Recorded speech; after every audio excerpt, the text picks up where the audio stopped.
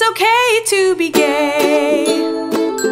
We are different in many ways. Doesn't matter if you're a boy, girl, or somewhere in between. We all are part of one big family.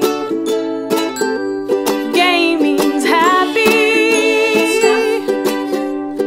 Queer kid stuff. You are enough here at Queer Kid Stuff.